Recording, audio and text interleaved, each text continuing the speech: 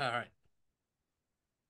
Hi, everyone, and welcome again to another one of my Gaudium et Spes 22.com blog posts on Podbean Podcast and on YouTube. And the Podbean Podcast can be picked up on Spotify and Apple, not Google, however because Google, being the Antichrist, made me jump through all kinds of hoops I didn't want to jump through.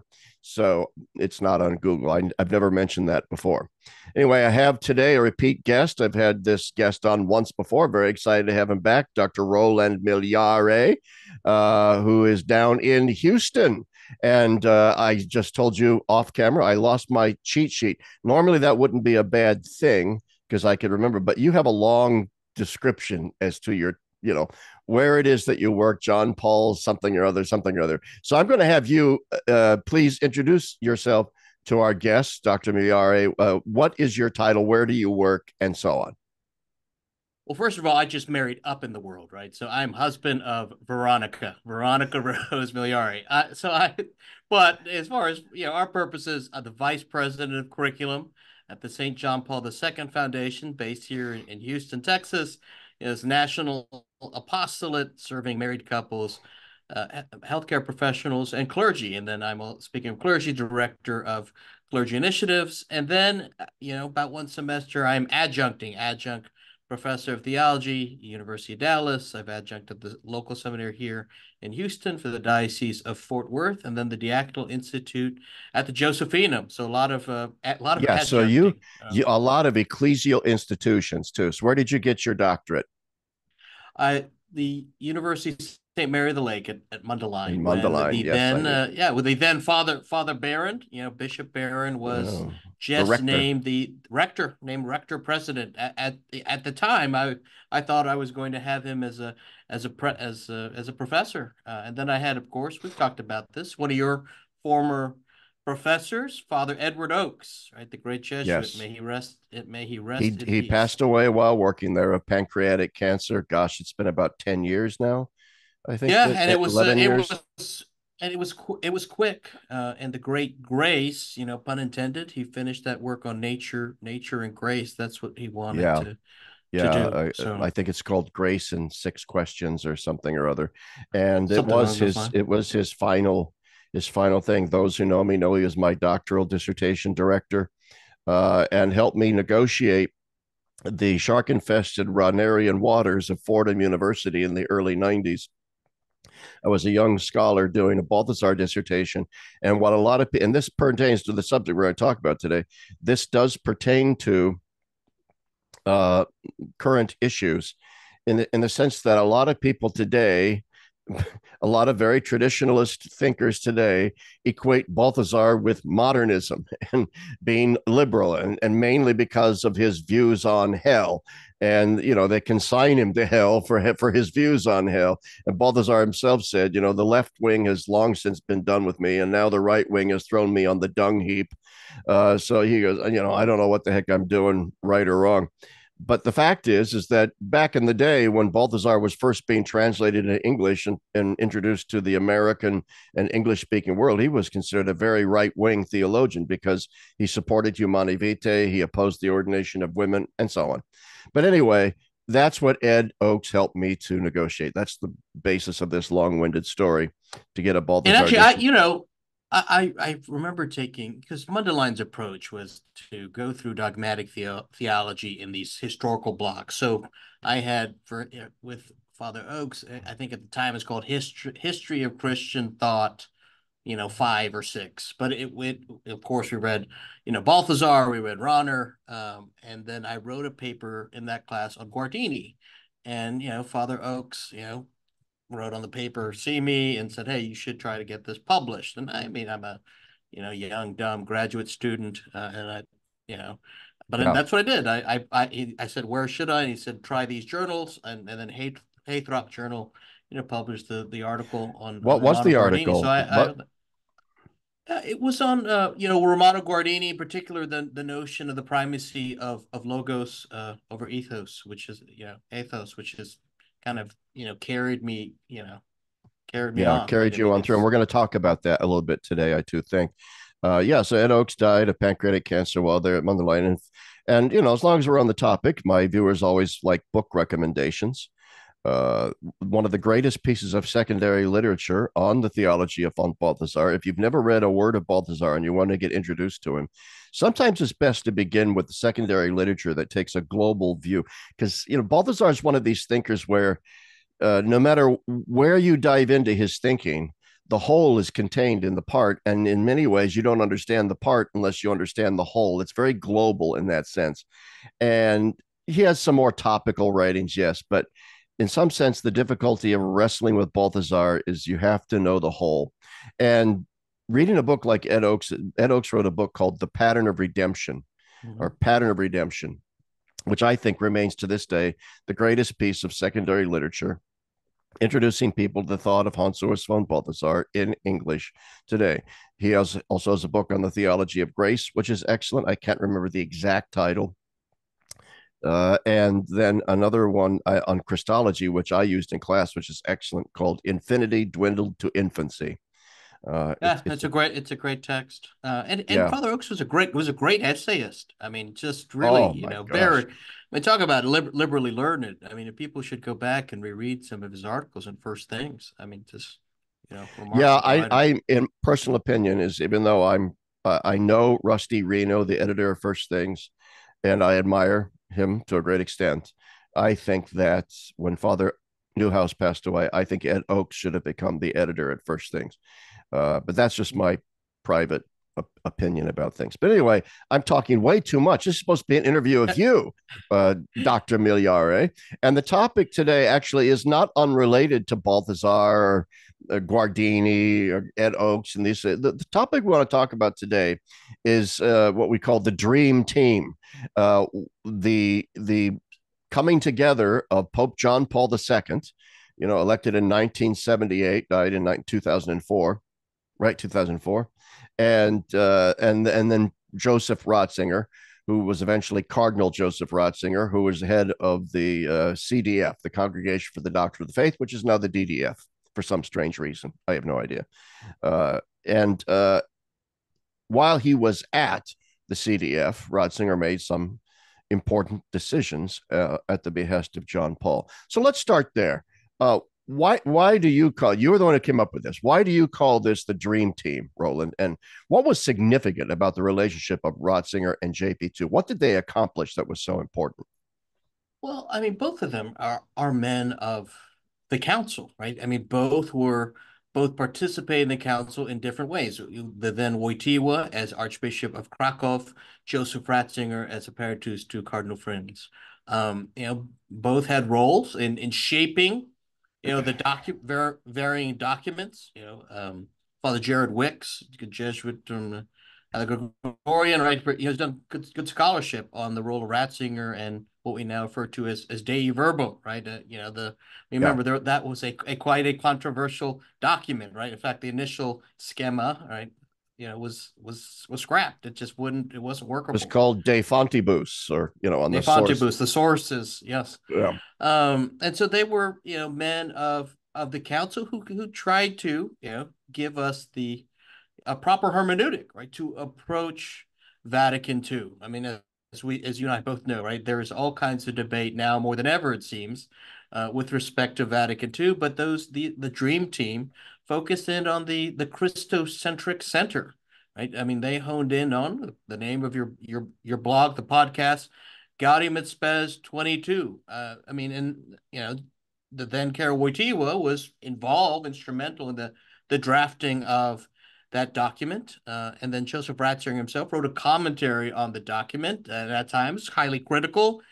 He calls it downright Pelagian at, at times, uh, naively yes. optimistic, but they both focus in on that Christocentric anthropology. In fact, Ratzinger says it's the first time, you know, the history of a magisterial document, you have this intersection of of Christology and anthropology, right? Gaudium et Spes 22 you know, Christ fully reveals man to himself and brings to light, right, or makes, you know, his supreme yeah. calling clear. Uh, and this is, you know, and really for both of them, they're about communio, they're about communion. John Paul focuses on the, you know, communio personarum, communion of persons, you know, the importance of a Trinitarian Christology. I mean, that's not to say that Joseph Ratzinger isn't interested in that project, but he's also more focused on communio ecclesiology, Eucharistic ecclesiology. And then both yeah. of them ultimately are focused on that love that's derived from from that notion of of communio. Uh, and that I mean that's why I mean some people were startled that you know Pope Benedict's first encyclical was on love, Deus Caritas Est, but it makes perfect sense. In fact, Father, I think it's Father Vincent Twomey, one of his former doctoral yes. students, said he, yeah, he thought it. He, he, was not surprised at all, and he, in fact, he anticipated as as much, right? I mean, which is not a surprise given the Augustinian, um, you know, roots of of Joseph Ratzinger, Benedict the Sixteenth, yeah. and they're and they're, I, uh, they're complementary. They're comp, you know, there's a complementarity between the two of them, right? I mean, you know, Wojtyła, yeah. a, you know, arguably a Thomist, right? A Thomist that's rooted in, you know, the film, uh, you know, phenomenological method, right? Joseph Ratzinger, more of an Augustinian, Bonaventurian thinker. Uh, it's not to say he is anti-Thomist, right, and not to say that you know, Wojtyła is anti-Augustine by no means, right? But but the two of them together mm-hmm. make up this this dream team, right? I mean, as Archbishop of Krakow, I mean, you know, think of sources of renewal. I mean, John Paul wanted to make sure Vatican II is interpreted and implemented properly, right? So let's you know use the this foundation of the Christocentric anthropology, and then I think in 1985 the the Ratzinger report, right? When they had that synod on the proper meaning of, of Vatican II, right? The whole notion of communio ecclesiology was put forward. This is the proper hermeneutic. I mean, so that's what makes them the dream team in, in my view, right? This, yeah, you know, communio anthropology, communio ecclesiology, all rooted in, in Christ as as center. So, I think that's so true. Uh, and I did people often say, Why did you name your blog with such a mouthful? Gaudium et Spes 22. Uh, when it could have been something simpler like my absolutely correct opinions of everything.com, you know, something like that. Uh, but uh, that's actually the name of a book by a Polish philosopher, Kolakowski. He once wrote a book, My Absolutely Correct Opinions on Everything, or something along those lines. And I always remembered that. Uh, but anyway, uh, yeah, I mean the the central focus in my mind, the central importance of Vatican II is that Christocentric theological anthropology. And you know, I didn't make that up. That comes from just about any, you know, major communio thinker who was at the council, interprets the council, saying, yeah, that yeah, and I think it was Ratzinger called GS22 a little Christological time bomb in you know in, in the middle of the, the, the text. Now, okay, you are correct. Let's come back to Gaudium Spes a second, because really, I agree with you. The dream team is is that these two thinkers, I think, and it's the result of divine providence, were brought together by God in Rome to help the church retrieve the riches of the Second Vatican Council in an era when that council had been co opted and literally mauled and destroyed by the liberal wing of the church. I know those are hackneyed terms, my friend Mike Baxter makes fun of me all the time for using these terms, but I think people know what I mean. Whatever, whatever you want to call them, the marauders, the barbarians who destroyed the Catholic Church after the second, you know, elements of the after the Vatican Council. These two guys, the Dream Team, tried to retrieve the council for the sake of the church because there was something there to retrieve. Okay, all that said, I agree with you. That's that's what's important about them. I want to come back then to one of the most contentious elements of that council, Gaudium et Spes.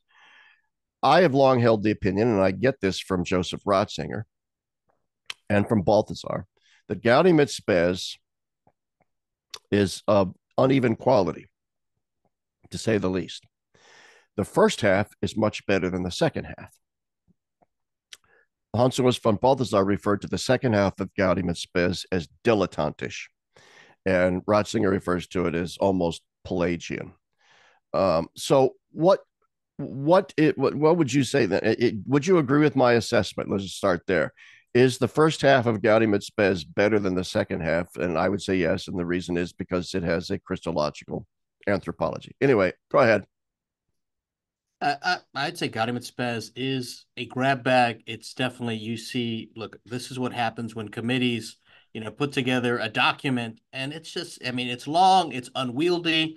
And look, if you took out the Christocentric center, what would be left? I mean, it could very well just as easily be a humanist manifesto, right? I th- I think we have to, to yeah, yeah, to name it that way, right? But that's but going back to Guardini, it's all about the primacy of the logos o- over the ethos, right? And so the logos is this notion of of Gaudium et Spes 22, this Christocentric center. The ethos is self-giving love. Gaudium et Spes 24, right? We discover ourselves only through a complete, complete and sincere gift of self. The problem with the latter part of, of Gaudium et Spes is it it seems to forget that that primacy, right? It becomes, I mean, this the document could have been written by an NGO, right? I mean, the way it, yeah. It, it's, yeah. it's formulated, and that is the problem, you know. Yeah.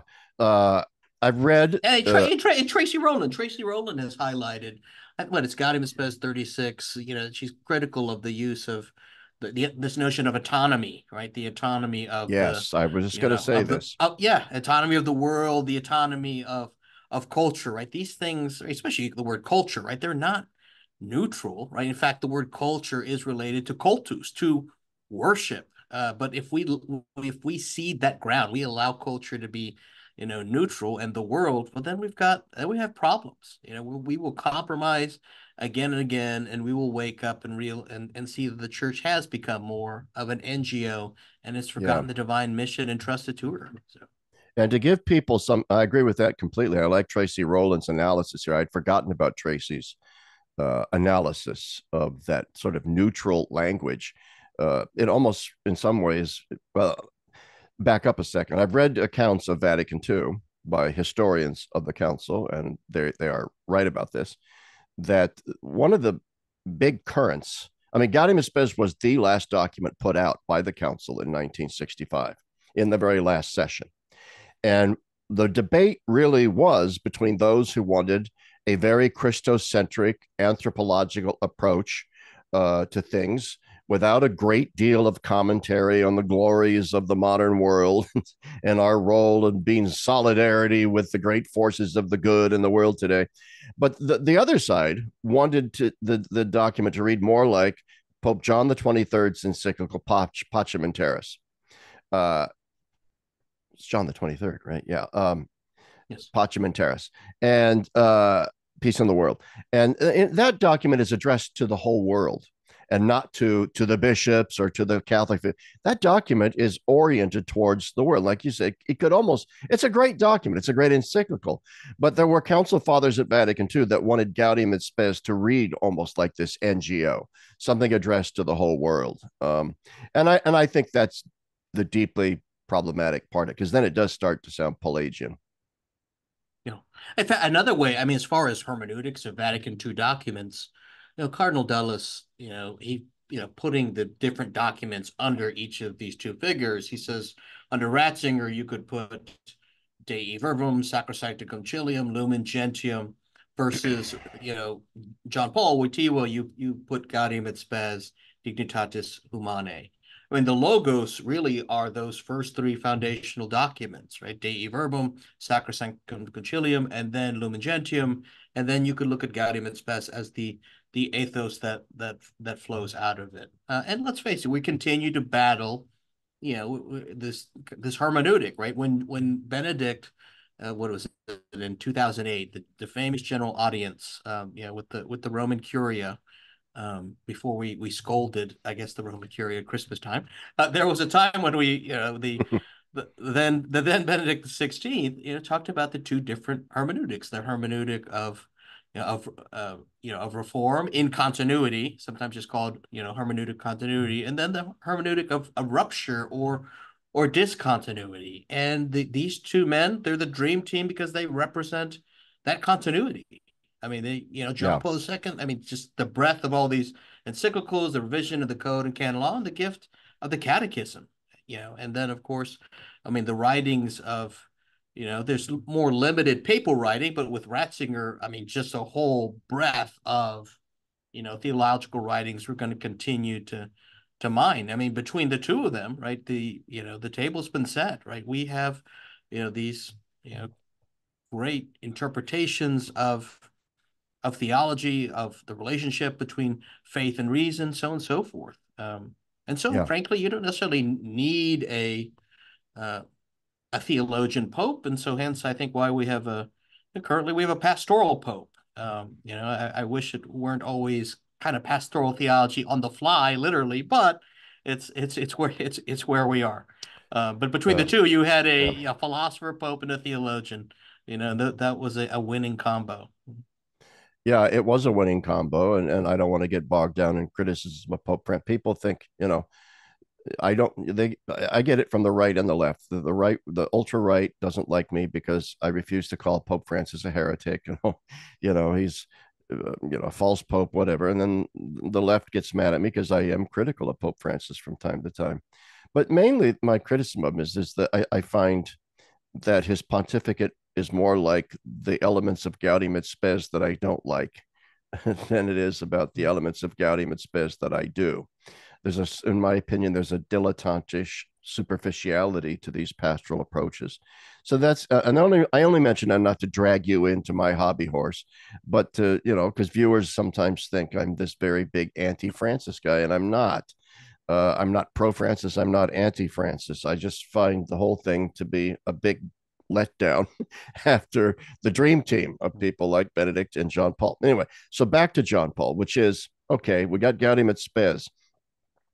22. Uh, and uh, Henri de Lubac, his theology looms large in Gaudium et Spes 22. De Lubac's fantastic book, The Drama of Atheist Humanism. You can get it from Ignatius Press. It's still in print. Very important in my own thinking.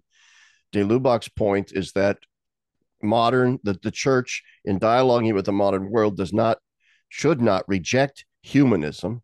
It should show how Christianity gives us the deeper humanism, the better anthropology. And that is really at the source of Gaudium et Spes 22. All right, that the church is asserting that in Christ we have a deeper and better anthropology. Therefore, it is not an accident that Pope John Paul II's very first encyclical was an encyclical on Christological theological anthropology called Redemptor Hominis. And he proposed, therefore, Christ as the answer to the great humanistic crisis of our time in, in that encyclical. In that regard, I think he he sort of set the tone and said, my pontificate is going to be about retrieving Vatican II along the lines of this Christological theological anthropology for the sake of the whole world. What do you think of my yeah, of it, my spin? No, I, I don't. Yeah, I don't take it as a spin as much as as I recall somewhere in in his writings he said that de Lubac wrote to him or, or convicted him of precisely that, that the, the yep. problem of our age was this pulverization of the person. I mean, he said, I mean, John Paul acknowledges that the contents of Redemptor Hominis had already been written. written. Uh, that's also what makes the two of them a dream team, right? They lived during the whole, both of them lived during the horrors of World War II, obviously for John Paul in Poland, right? I mean, you know his friends you know families neighbors that he knew, knew right? Jewish friends and neighbors being carted off to the, the death chambers right? I mean it, it it affected him in a very deep and profound way. And then you know when liberated at, from the nazis having to live, live under under communism. And so in response to that false humanism that drama of atheist humanism he gives us the this you know this luminous christian humanism um, and and it's it's really I mean that's the beauty of Redemptor Hominis. It's all all the other encyclicals, all the other thought, just really kind of you know uh, goes forth from it. It emanates from it. In fact, in Redemptor Hominis, there's that. It's one of the probably more frequently quoted lines, right? That man cannot live without love, right? He, be you know basically he's he's alienated if he cannot you know uh, understand it. And so I mean it's it's significant, right? Both of them, John Paul and Benedict, hone in on that same that same theme of what what love is. And for both, it's at the end of the day Eucharistic, right? Jesus says, "This is my body given up for you." Whereas the secular humanism says, "No, this is my body, punto. I will do with it what I want, what I want, with yeah. whom I want." Right? The, the transgender ideology is just extending, you know, this materialist view further, really. I mean, you just that's what you that's what you get when you say, no, this is my body, this is you know, this is my blood. It, it removes that notion of of self gift, right? And love and responsibility, right? The opposite of love is use, and that's what we say we see playing out. So. Absolutely, and uh, I think that's very important. That line from Redemptor Hominis about you know You really don't know what it means to be human until you love, and uh, and love to the end. Love, love gratuitously. Love largely. love everyone, yep. uh, and and yep. you will find how expansive it is. Now let's but let's come back then to Joseph Ratzinger. I mean, uh, Ratzinger too, you know, suffered the horrors of World War II, but strangely, from within Germany, and so even though he experienced the destructive aftermath in Germany of, of the war, in some ways, since his family was anti-Nazi, uh, his father was very anti-Nazi. The Ratzingers sort of existed below the war, below the radar Whereas someone like a John Paul, I mean, de Lubac fought in the resistance. I mean, he, I mean, worked not fought, but worked in the resistance in France, put himself in peril. John Paul II was in Poland and suffered, you know, directly under the Nazis and then later under the Soviets. So it's interesting. Yeah, the young Joseph Ratzinger, though in Nazi Germany, didn't really suffer through the horrors of it the way I think John Paul and de Lubac did. No, but yet, you know, I think one of the most beautiful speeches I, I reread it recently is the speech that Benedict gave at Auschwitz, you know, where he yeah at, he dares to ask the question, where was was God? In fact, I mean, for anyone you know going through suffering, right? I mean, yes, read John Paul Salvifici, Doloris, but go back to that speech at the Benedict gave in Auschwitz. It's a very very powerful one. I mean, a very brave, very very powerful. I think though, I'm, I do not mean to imply that Ratzinger was unaffected by the war, but but I think Ratzinger was more affected by the war on an intellectual level and in his soul as a German. I think he was quite devastated internally as a German to understand what his fellow countrymen had done. Uh, and and it also intellectually then raised the, the specter of the problem of horrific evil on on just monumental scale.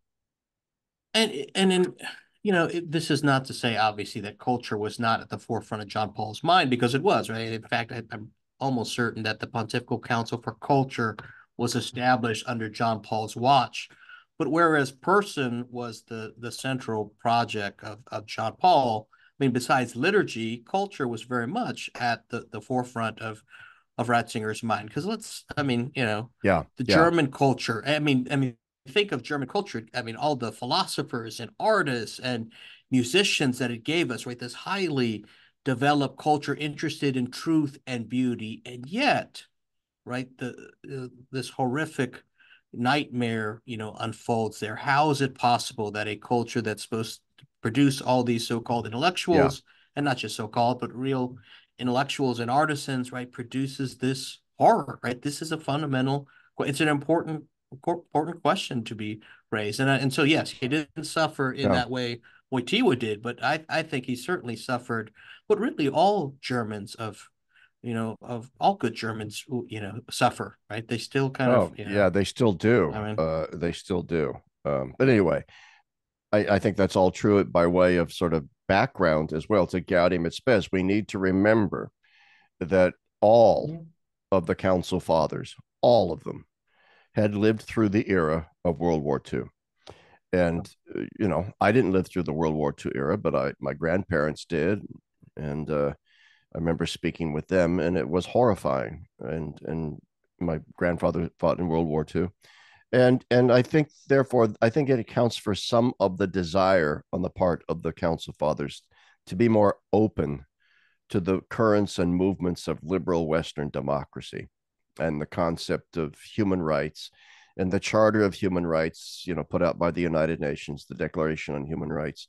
I think there was just this feeling of this must be done. We must make peace with these people because otherwise, what awaits us are Soviets or Nazis and so on. Do you agree with that? Yeah, yeah. I mean, that's why you know Benedict Ratzinger chose the name Benedict. We always we tend to focus on you know Saint Benedict, the evangelization of Europe, and all that is true. All that obviously you know, given his interest in, in, in, liturgy, but also he, you know, Benedict the Fifteenth, right? The the you know, uh, he's interested in peace, right? he want you know, wants to avoid any any kind of you know war right and yes, yeah. we have the modern the modern yeah. state has not been very very favorable to to the church on varying fronts. You know, no, it hasn't. I mean, I just ask people to remember. I mean, the great traumatic event of our time, 9 11, was 23 years ago now. Whereas when the Second Vatican Council opened, it was a mere 17 years after the end of World War II. Uh, and at the height of the Cold War and the nuclear annihilation that both sides were threatening each other with. So there was a real existential fear that the world was going to destroy itself. And that is why I, I, I do think that is somewhat of what accounts for an overly optimistic view of liberal, the values of liberal Western democracy. And, and I think that accounts for it. But anyway, uh, let's get back. The, I mean, no, that, no, go ahead. What, go ahead. That, that, yeah, that you know, like Centesimus Annus, right? I mean, we, you know, people want to get into the debates about the implicate implications for economics, and I certainly understand that. But the thing that strikes me is, of course, you know, his focus on the anthropology there, right? And he, that, you know, John yeah. Paul once again doubles down in Centesimus Annus and says, look, the, the fundamental question, the fundamental issue here, right? The problem with communism, it's an error in on the level of anthropology, right? But the same thing is true with respect to the you know, consumerist mentality. Once again, right? It is also an anthropological issue right? It you know it's not the economy stupid. It's the human person stupid. That's right. The famous line from james carville bill clinton's yes. campaign director it's it's the economy yes. stupid. All right? No it's it's the anthropology stupid. And i think let's let's get back to that because my my friend father robert imbelli who was a seminarian in rome while the council was going on so if he's listening hello father imbelli uh, he's written some beautiful things on the council, especially Dei Verbum. Uh, but he of late has said, you know, in various ways, in publication and in private, that the key crisis of our time in the church and in the world is anthropology. And, and I think this is the the thread that links together the 20th century with our own time, the thread that links together Vatican II, communio theology, Ratzinger, John Paul II, and the ongoing crisis of our own time. This open, burning question, as my friend Mark Stallman always asks, what the, the modern world is pressing upon us the question, what is a human being? Hmm. So, yeah, and uh, I, and I, and, no, I, and I think of uh, you know the the late Father Norris Clarke. um, yes, the Jesuit at Fordham. You know, he you know, highlighting the he calls what the uh, creative retrieval of the metaphysics of Saint Thomas, but he says to be is to be in relation. Relation. I, I think that yes, that is the key, right? I mean, the human person, we don't exist as the these you know autonomous individuals, but I you know we're not called to just you know, be alone together, because that's the current problem with the technocracy, right? We are, and that phrase comes from Sherry Turkle at MIT. We're alone together. You walk into a coffee shop, a Starbucks, it's set for eight, ten people, and but every, no one's talking to each other. They're all alone together, right? To Father Imbelli's point, that we what we've got here is an anthropological issue, right? We are because look, there's all this technology. It's supposed to do all these great things for us, and it has, right? You can Zoom with with people as we are now, right? And nationally, internationally, talking to family members, but yet, right, 2023, what's the major pan- epidemic concern of the Surgeon General? Loneliness, right? The the technocracy hasn't, yeah. you know, ha- it's not able to address loneliness, and that's and the isolation. So, but once again, it's an anthropological issue. To be is to be in relation. Um, and Norris Clarke is one of those Thomists, and it was controversial, who believed, and along with David L. Schindler, who I just did a show on, that relationality should be one of the transcendental properties of being. Uh, and this was, you know, strict Thomist was saying, no, the transcendental properties of being are the one, the true, and the good. Uh, to, to those who don't know, I mean, what what Thomas would say is that anything insofar as it is, insofar as it exists. One of the things that all existing things share is, you know, the, the oneness, an internal self, an, an, a self identity, truth, and goodness. And Norris Clarke and some other Thomists wanted to add relationality as one of the constitutive properties of everything that exists. That everything that exists exists in relation to something else. Is am I getting Norris Clarke right, Roland? Is that right? Yeah, I think so. I was distracted because I was one. I was thinking. I wonder if Larry could help me understand the the never-ending debates between Schindler and Clarke. There were these obscure, you know, are uh, to me they were obscure, right? We were going into the weeds on essay and being and that. Yeah, you know, I yeah. mean, maybe maybe if I re- maybe if I revisited them now. Well, that's why I'm asking time, you. You know. I uh, you met you brought up Norris Clarke, and, and it's not unrelated to Ratzinger and JP too because it's all part of their thinking as well. This, you know, that we only know what it means to be a human being when we love. Uh, and and Christ was the man pro nobis for us, and he was the relational person. So, and and all these modern Trinitarian theologies are deeply relational in their understanding of the Trinitarian person. So it's not a really. So that's why I asked you about Clarke because maybe I'm remembering this wrong. Maybe it was Schindler that was arguing for relationality being a transcendental property of being. And maybe Norris Clarke said, well, relationality is important, but it's not a transcendental property of being. So I'd have to revisit that whole debate. Yeah, along but with to you. the point, as oh, far I can't, as, yes. I'm sorry, Roland. I cannot enlighten you there, obviously.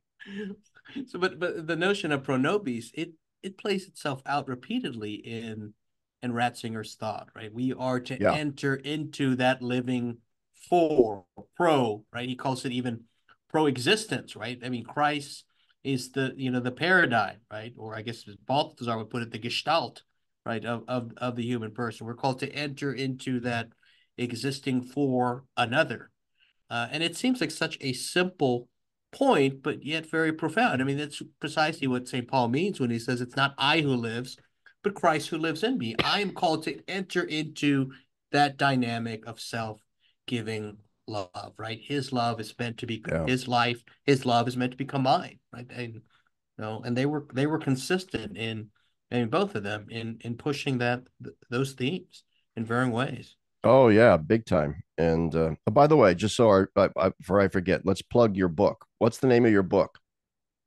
A Living Sacrifice, Liturgy and Eschatology in Joseph Ratzinger. Uh, I mean, that yeah. itself, right? In Rome, Romans 12, 1, right? St. Paul exhorts us to make of our bodies a living yes. sacrifice in spirit. Pro in nobis, to live pro nobis. Yeah. That's what yeah. made me think of it.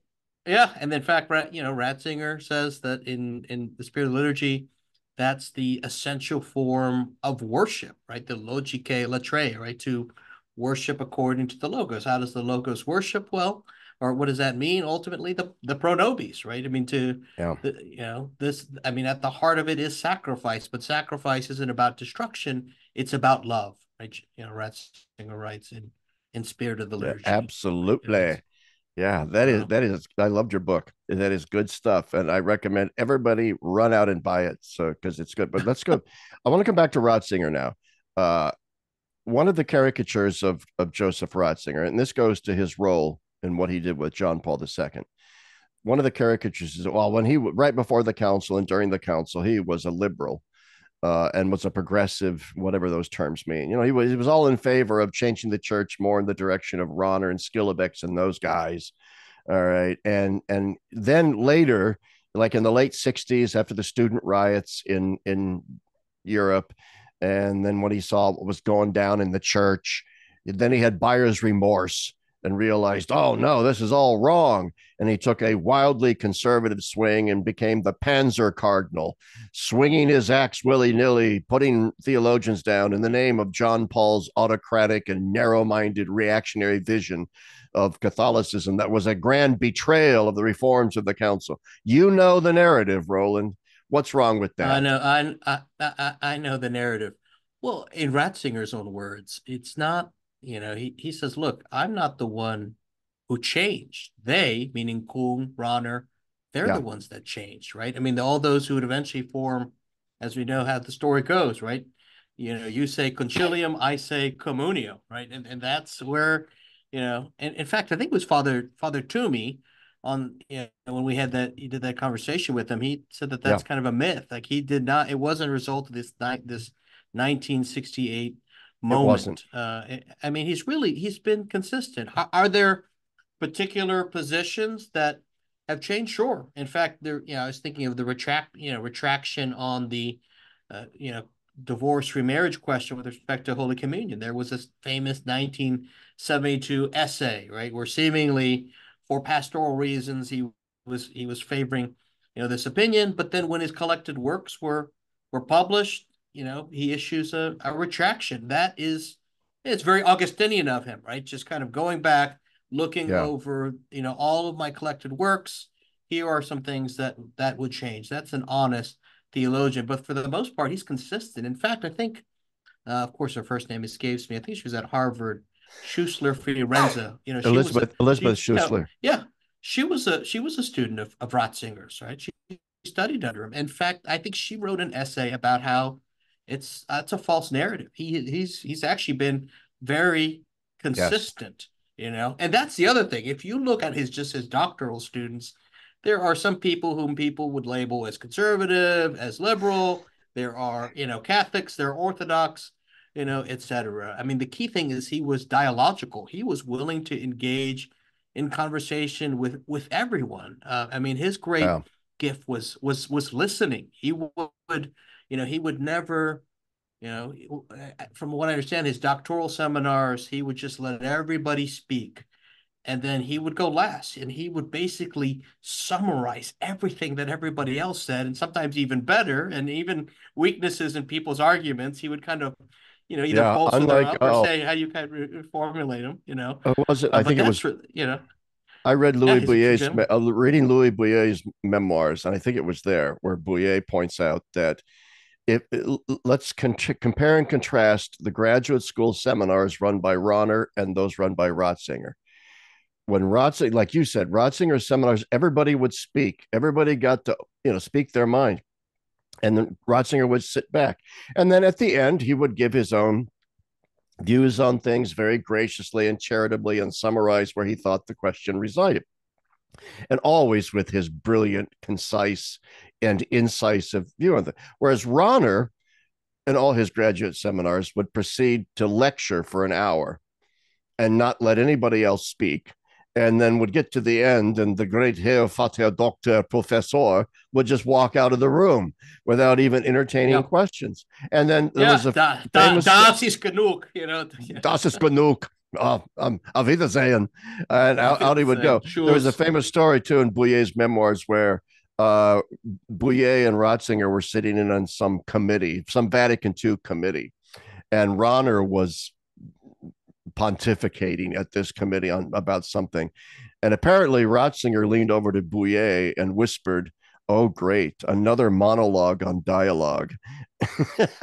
so, you know, in other words, this was not a you know, a guy who was wildly in favor of this, you know, this open-ended worldliness in the you know, and these hackneyed terms, conservative, liberal, whatever, or traditionalist, what it boils down to is this the conservative, the, the very, very traditionalist types, the Ottaviani types, they had a vision of the church that was still largely dialectical vis a vis the world. It was Catholicism contra mundum, it, it was Catholicism against the world. And it was just its role to preach the truth and condemn error and go along. It was very dialectical, oppositional. On the other hand, you had the Rahnerian wing and the, the wing that was very Catholicism pro mundum, okay, Catholicism in favor of the world.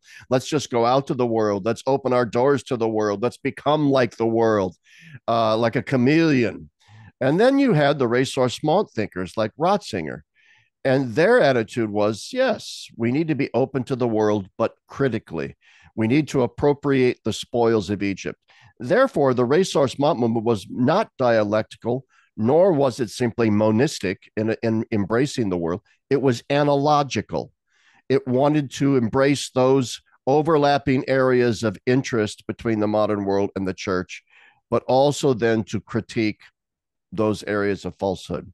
Uh, so that's how I would characterize where Ratzinger fit in and why, when he founded Communio with Balthasar and de Lubac, it was not some sudden turn to the right it was simply his analogical approach to, to the question of how do we address the world.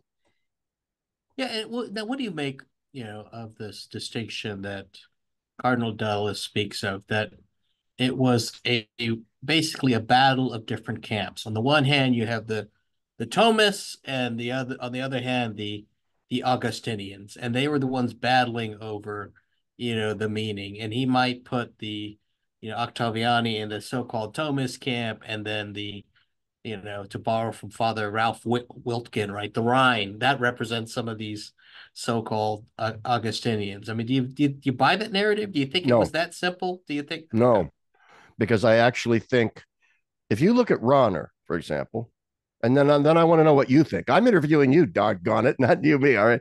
I don't want to be, this isn't the Larry Chapp hour, but still, here's my take. If you read Rahner and Schillebeeckx, and these guys are still very Thomistic. What I, I think you saw in the tradi- traditionalist, you know, like, let's be against the world, let's fortress Catholicism, that mentality. They were hyper Thomistic in a very neo scholastic way. I think, though, that in their own way, the progressives who wanted a much more accommodating posture towards the modern world were still Thomas. I just think they were very progressive Thomas. Uh, and and I think the Augustinian element comes in with people like to to extent Ratzinger and uh, even to a certain extent de Lubac. People like Wojtyła. Wojtyła was that, and I want you to talk on this eventually. He was that out of that strange school of Thomism called Lublin Thomism, all right. Uh, that was neither Augustinian nor straight up Thomist. But anyway, I think it is a little more complex than than that scenario that was put forward by you there. Who was it? Yeah, and, well, the, uh, uh, Card- Cardinal Dulles. You know? Oh yeah, and Cardinal Dulles. Yeah. Yeah, because you know Massimo Faggioli, right? He's from the huh. that Bologna school. Bologna school. Some might say Bologna, uh, but he, maximum you know, he beans. You know, maximum beans. Massimo Faggioli. Um, you know, he'll draw upon that narrative out, out of Dulles, and I, I, I can't remember yeah. where where it is. I did find the essay, but I still, I, I think it over oversimplifies it. I mean, part of the issue is, I mean, what do we mean by Thomas, right? I mean, many, as we all know, right? I mean, you, you know, transcendental Thomas versus existential Thomas versus the Thomas of the strict observance, or you know, there's a variety yeah. of of Thomisms out there, and Lublin Thomism, which some would say, well, this is a subset of existentialist Thomists, right? Um, yeah, yeah. I mean, so the Aug- yeah. yeah, Augustinians like Ratzinger had a stronger sense of the role of the libido dominandi in the world and in the church. Whereas I, uh, some of the more progressive Thomists, I mean, Tracey Rowland has identified 17 different versions of Thomism in the 20th century. So yeah, it's a little difficult to say. Oh, the Thomas that I, you know, I love Avery. I loved Avery Dulles. I thought he was uh, really good at what he did. However, I don't think he was a brilliant theologian. I really don't. I think what Dulles was very. Do, do you take at? Do you think he was more? Do you think he was more of a historian then? yeah, and and also a taxonomist. In other words, he engaged okay. in what some have called, and I love the term, uh, theography. Okay, he was a theographer uh, in the sense that he was very good at cataloging schools of thought and categorizing them, and then analyzing various thinkers to see where they fit into those historical taxonomies. Now, the the the beauty of that is it allows us, it gives us context everything's not just a cacophony. People do fit into mm-hmm. schools of thought. Sometimes these terms really are accurately descriptive and not simply distorting. On the other hand, there is a tendency to simply try to fit everything within those taxonomies, within those categories. And and I think then then you have a danger. Uh, and yeah, I, I, benefited greatly from reading Dulles, and, and I'm not saying that his analysis here is completely wrong. But there is this problem of oversimplification in much of what Dulles did. And, and I think here we we also have a case of it. Hmm.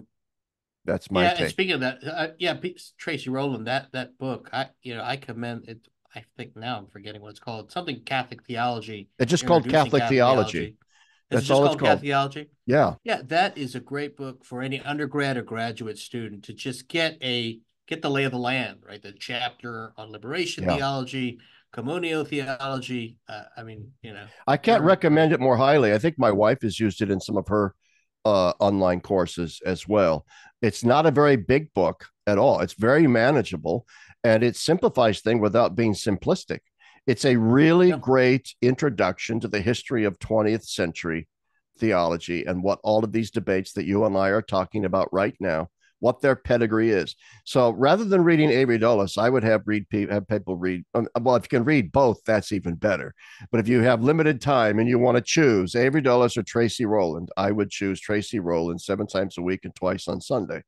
Uh, I, I think. Although I, I will say, with respect to Dulles, his his book on it's entitled "The Splendor of Faith." It's just a good, glorious very, book. Eh, oh, Roland, yeah, I am so glad of, you have called me out. Theology, you know, yeah, yeah that is that a great, is a great book. You know, yeah, yeah, it, it, it really is. You know, because he no. dives into he dives into Wojtyła's interventions. He really does. He covers it all there. You know, not just the.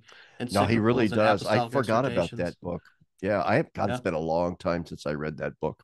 But anyway, in fact, I have a I have I have a signed signed copy of it from him. He uh, and he smiled, and then he told me, you know, the people say that this is when I took a right turn, you know, but and then once again, right, one of these people who people say they changed, but he he maintains otherwise, you know. But well, I think he did change. You read his book from his books, Models of the Church, Models of Revelation, which were written in the. I've not read. my I didn't.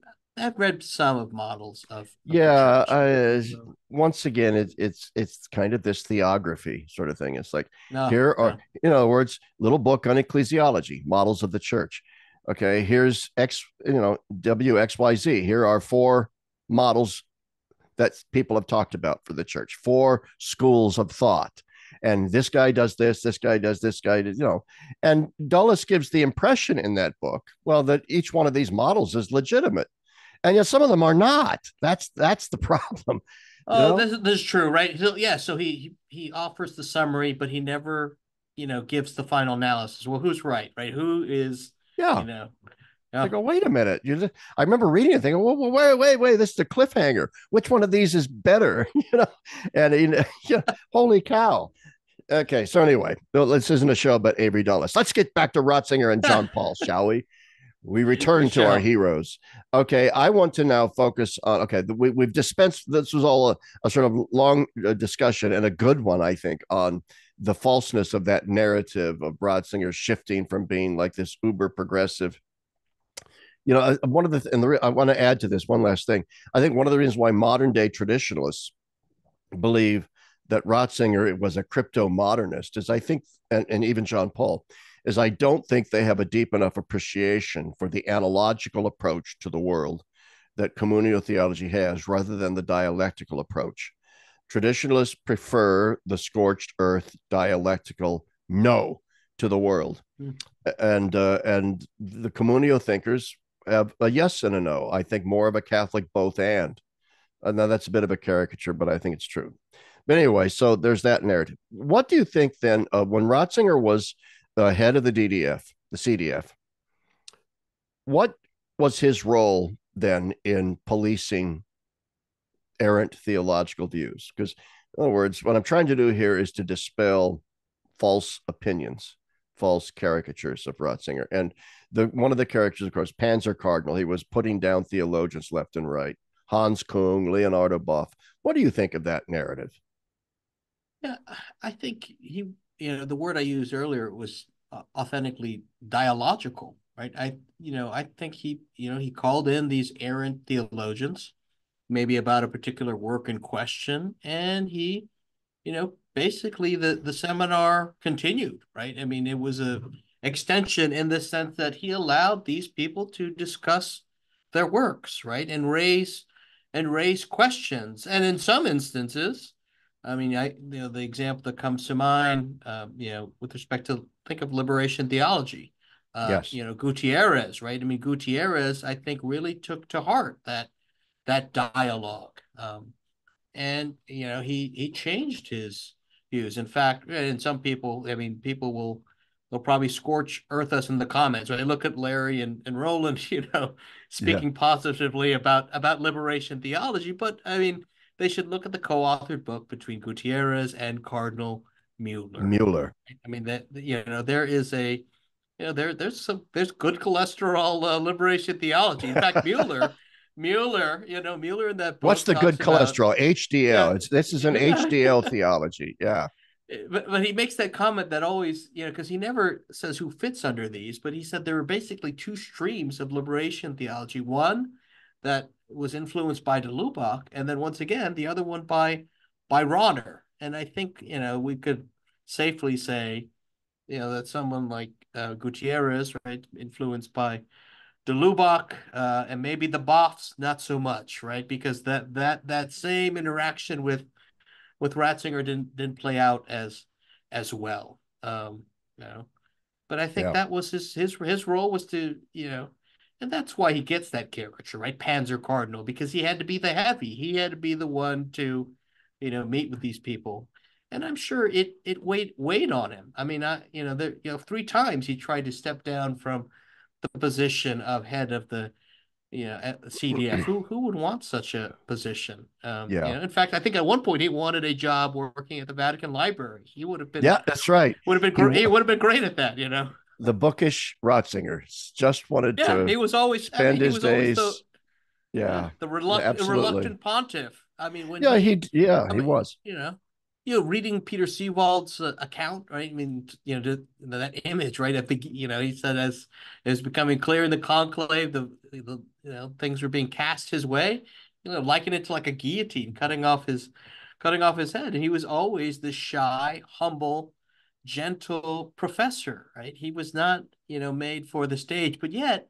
As soon as he got in the loggia, he he he he lit up, right? Now his speeches, right? They were very intellectual, but they had great depth. I mean, those September speeches, right? Whether we're talking about Regensburg or you know, um, in front of the um, you know, in in Germany in the Bundestag. I mean, these are great speeches. Um, you know, I I very think his so. his you know his speeches and his homilies. I think that's where where the gold is that we need to to mine. I, I mean, we've we've been looking yeah. at a lot of his theological writings, but I think the speeches, especially the homilies. In fact, Cardinal DiNardo, my ordinary, he he makes the argument, uh, or he's at least made the statement, I should say, that he he thinks that Benedict is the best homilist since Augustine. Now, now Cardinal DiNardo is a patristics person, so that but that says a lot, I think. You know, a better homilist than Newman. That's interesting. Yeah. That's interesting. So to go back to the liberation theology guys, because I think they're they're always. I mean, Hans Kung is also always brought up, but you know, Hans Kung deserved what he got. I once had a conversation with Cardinal Walter Kasper in a limousine. Just happened to be, you know, sharing a limousine to the airport, and it was right before John Paul had died. Hmm. and so we were discussing the legacy of John Paul, and I said to Walter Kasper, Cardinal Kasper, I said, "Tell me, you know Hans Kung?" He says, "Yes, yes, I know Hans Kung." And I said, uh, well, what is your opinion of Hans Kung? He goes, well, Hans Kung was better before he became Hans Kung. In other words, you know, he became a kind of bigger than life caricature of himself and began to live out the role of the grand provocateur, the Don Quixote tilting at the grand papal windmill, you know, and he really believed that narrative about himself. And I think Leonardo da Boff fell into a similar thing. There, there was a hubris there that did not leave them open to correction. And they had an inbuilt chip on their shoulder towards Roman authority. Balthasar wrote about this at the time in, in a famous essay called The Anti-Römische Affekt, meaning the, the anti-Roman sentiment is what has led to some of so it's in other words, it's not Ratzinger who was at fault here but the arrogance of people like a, a Boff or a Kung unwilling to enter into dialogue. Whereas Gutierrez went to Rome, had a great dialogue with Ratzinger, said, okay, yeah, he's right about this and he's wrong about that, and I'm going to go do this. You know, and there he is, you know, with a book by Mule. Anyway, well, I'm prattling on again. You you bring out the worst in me and my loquaciousness, Roland, because I think it's we we think alike. But I, I yeah. think you're right. I think that he, he, remained a man of of dialogue to the end. Um, and, and, both and both of them, right? I mean, uh, you know, as far as a dream team, it's a reminder to us, you know, as I mean, those who who serve the church, you know, either as as theologians or whatever capacity as as leaders, that need to always be humble before the truth. I mean, I mean that's neither one of them ever lost side of that. You know, I always tell people, look, when he when Benedict was a priest, they said his, you know, the then Father Ratz, Ratzinger had standing room only at his children's masses. I think that tells you what you need to know about the yes. man, right? You know. Yes. You can comment on this maybe better than I can one of the th- the young Ratzinger simply wanted to spend his career like Rahner spent his, and Balthasar spent his, and Guardini spent his, and to, you know, basically, like in Balthasar's case, being a, a, spiritual director and university chaplain, but in Rahner and Bouyer and Guardini and de Lubac, they they they were lecturers, and so that's what and what people tend to forget is that in Europe at that time, especially in Germany, if you became a famous theology lecturer, you had enormous influence in the culture. You know?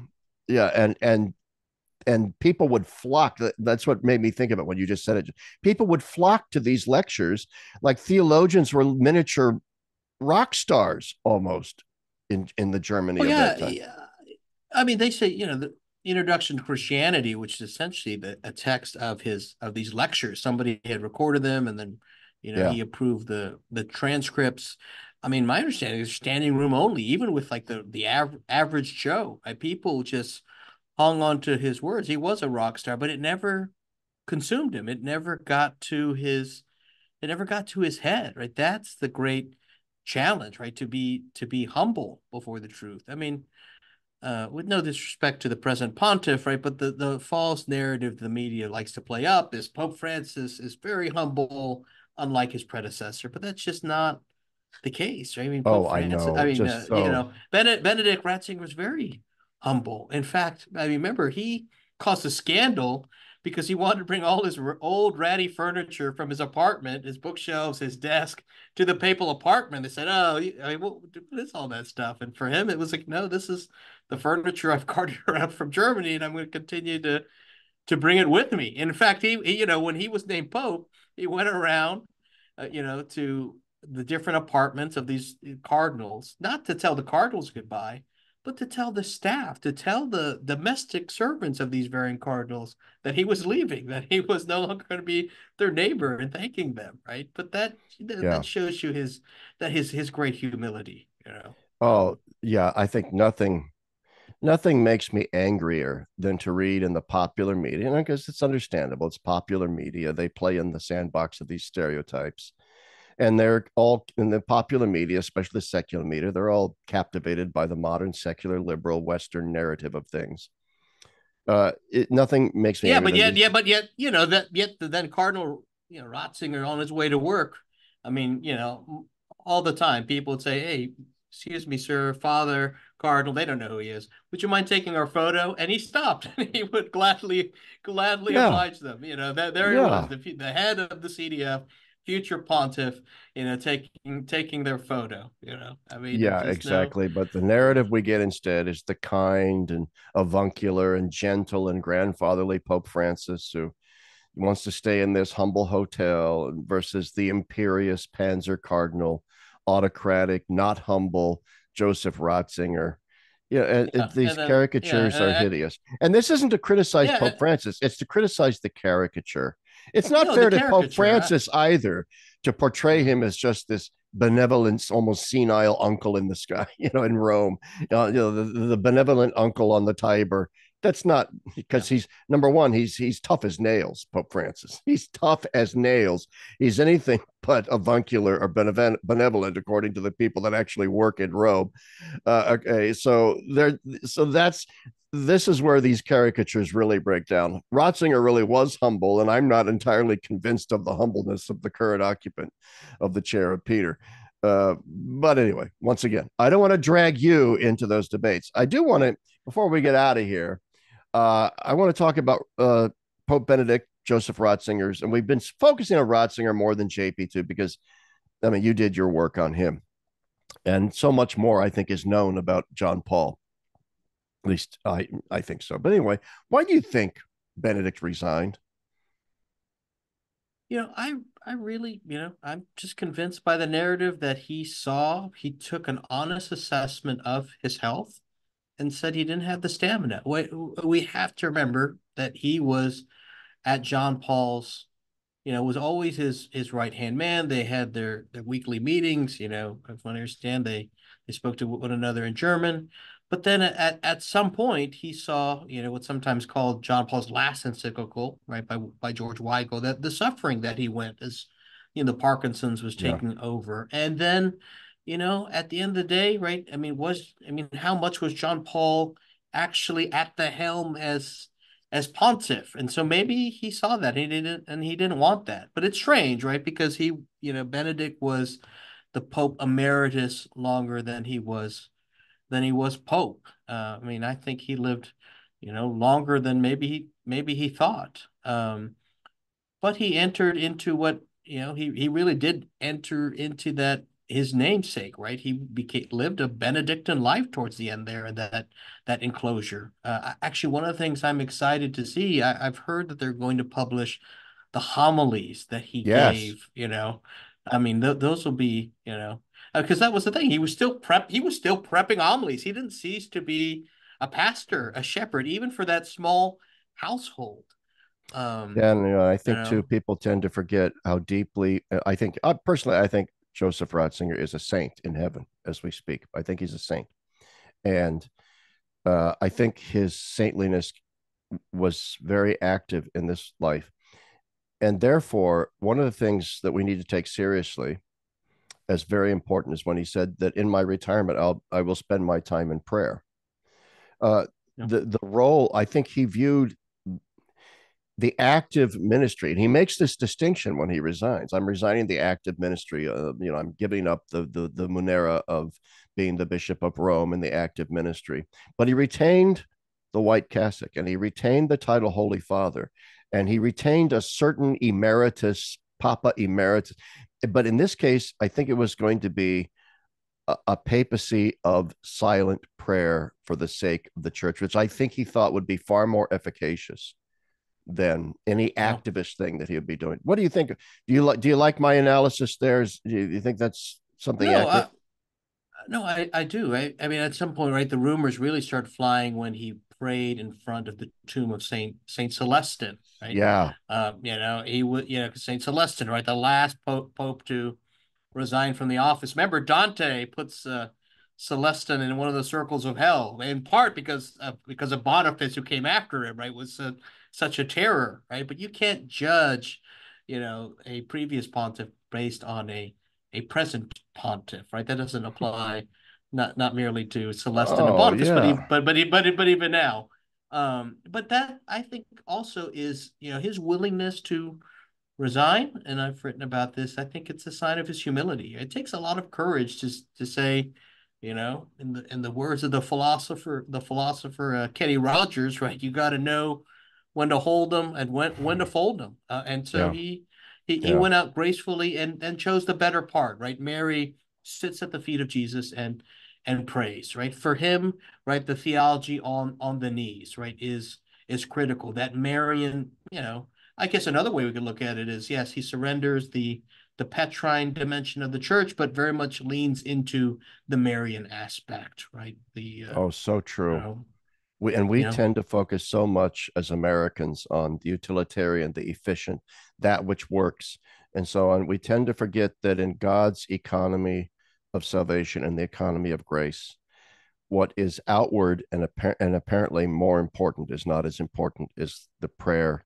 of the inward soul. I was just reading the story of a very saintly priest who, on his deathbed, said that in prayer, what had come to him was that simple acts of kindness kindness have pre- have prevented wars and it, you know and you think well in the in the spiritual realm the spiritual laws that pertain in the spiritual realm the silent prayer or the, or just the minis, most minuscule act of kindness towards another human being has ripple effects cosmically that we just don't even begin to realize hmm. so no, I, I mean you you think you think of you think of Teresa of Lisieux, right? I mean, patroness yeah. of missionaries, Missionary. but yet never, you know, that, that doesn't leave the leave the Carmel, right? Somehow she's the equivalent of of Saint Francis Xavier, and so Benedict's missionary work to evangelize the West didn't cease.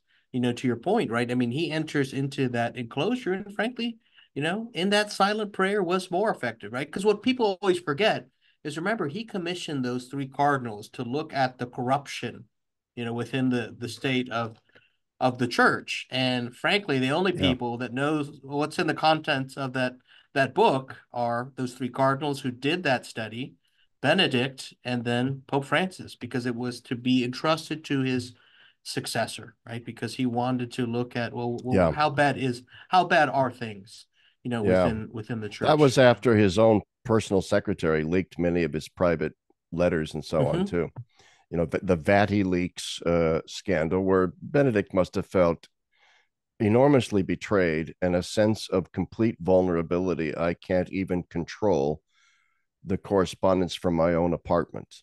How can I control the church? And so that must have weighed on him. But I'm gonna, but, but and, and, and, yeah, they said they said that was that they said that was Ratzinger's Ratzinger's major weakness was he was very he was very trusting, right? And also yeah. he wasn't good at at at reigning.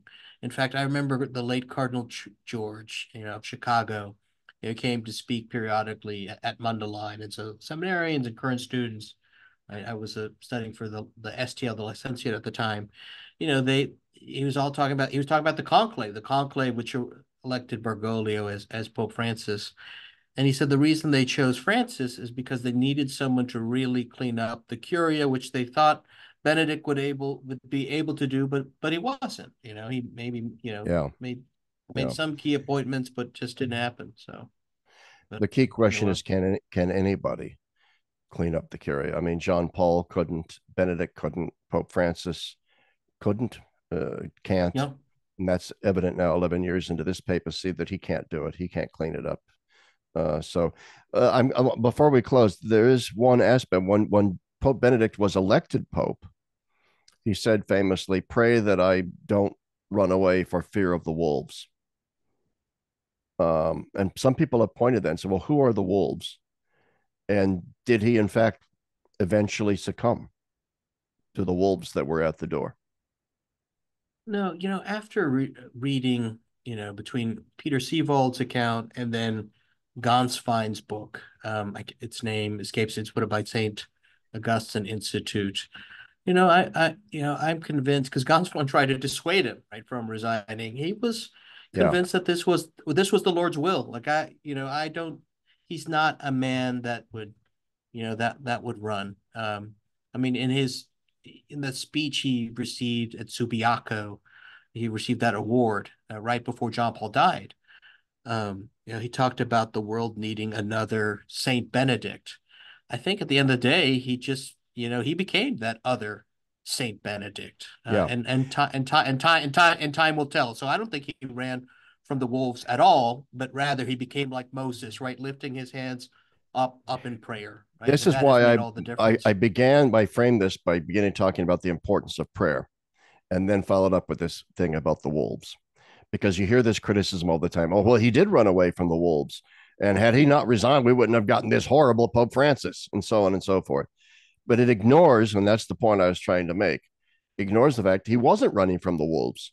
He understood where the wolves were, and he thought that I am going to serve the church better in prayer and seclusion than I would be in trying to confront this openly. The crisis is a spiritual one. And the reason why the church can't seem to reform this is because the mere practical measures of bureaucratic rearrangement are not going to address the deep spiritual malaise that afflicts the church.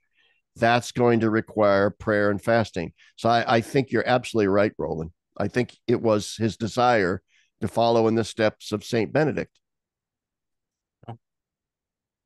No, so I mean that that he chose he chose the the better part, and it it also serves as a corrective. I mean, the other reality is we've had a kind of hyper papalism, right? Everyone wants to treat all the words of the pontiff, regardless of the occupant, as equally weighted, and it's just not not the case, right? I mean, the Pope is a servant to the truth, like everyone else, right? He is a servant to the servants of of God, and that you know that act of humbly and courageously stepping down, or that kind of helps to free the office. That it's not about the particular occupant. What's most important is the uh, is the is the office itself because the these varying occupants they'll they'll come and go but it's not about them right? Because they are to be the vicar of christ right? He is the that is right. and the life. Uh, and I want people to know that because I mean, there are people that are angry at me because they know I'm critical of Pope Francis, and I am. I have big problems with him, but I also hold back from scorched earth denunciation, so forth, because this too shall pass. Pope Francis will someday pass to his judgment, and we want a papacy intact after he's gone. If we start going all scorched earth and just, you know, we're we're shooting at gnats with a bazooka. We're, we're, we're, you know, we're going to destroy the papal office in the act of trying to destroy this particular pope. And, and I, I think this is as, as a, as a strategy is very bad, very, very bad. I think we can be critical of the Pope and yet respectful of the office. And that is why I think we need to look at Pope Benedict and not be critical of him either and say, here's what he was doing. You know, in the end, he, he was offering himself up as as a prayer warrior for the church, in my opinion. But anyway. Yeah, I mean he I mean he lives that out, that pro nobis, right? He and he enters he enters in, right? Becoming a living sacrifice himself. So yeah, absolutely. Uh, and I think I think my you know my final word would be the words of Benedict uh, from his inaugural mass as Pope, right? That the happiness you know that we you know that we seek has a name and a face. Jesus Christ in the Holy Eucharist, right? That is the, the Christological center that binds both John Paul and, and Benedict Wojtyła Ratzinger, right? Jesus Christ, the same yesterday, today, and forever. Jesus Christ, as John Paul would say, Jesus Christ, be not afraid. Yes. Yeah. John Paul was the great hero of my life. Uh, I entered seminary in 1978. And, you know, basically two months after I entered the seminary, John Paul's elected Pope. And this was minor seminary. I was an undergraduate. And I just, I try to communicate to this younger generation who, if they have any memory of John Paul at all, it's of his later years when he was very ill. Mm. I try to communicate to them just how inspiring the first say 15 years and not that it wasn't all inspiring but i just means in terms of the the activity the charisma the the force the magnetic force of the man for those first 15 years or so was just unbelievable and it changed the world it helped to bring down the soviet union you know it helped to stabilize the church after a period of enormous turmoil and it's why he pressed joseph ratzinger into service because mm-hmm. he knew that he needed help in that project. You know, well, I think no. uh, you would know this. How many times did Joseph Ratzinger say no to John Paul when John Paul asked him to be head of the CDF? You know, I think it's that that German, you know, polite the Bavarian thing, right? You say no twice and then you say yes a third time. So I want to say he said no, no twice, and well, then eventually. See, I didn't want to. Yeah, and that's then, you know, and, and then what we need to verify you know, is I think I read somewhere from George Weigel that it was Joseph Pieper. Speaking of Thomas, you know that that introduced the two of them. That's yes. we need to we need to track that down, right? That Joseph Pieper introduced these these two that were not just co-workers but were great friends, you know, and and and that's ultimately that that friendship rooted in Christ, you know, has has made all the difference in the lives of of so many of of a bishops, priests, two towering figures, lady, yeah, tower, the dream team. What I read, well, I think it was from Seewald, maybe that it was three times, and the first two times Ratzinger said uh, politely, "No, no," and the third time John Paul said, "This is not a request."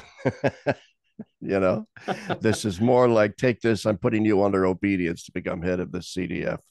Uh, but yes, they did have a mutual respect for each other on the level of yeah, and it, and it, and it, and it, it it's shown through at the funeral of Saint John Paul II when when Ratzinger was the the celebrant. People were like, "Wow, look at this Ratzinger." Well, he was it was the same Ratzinger. He's always been that way. He just you know he got the public moment that he normally tried to avoid. You know? Yeah. So. Oh, absolutely. And uh, I I do believe they're a dream team. Saint uh, John Paul II has been canonized, Saint John Paul II, and I hope someday that Pope Benedict is as well.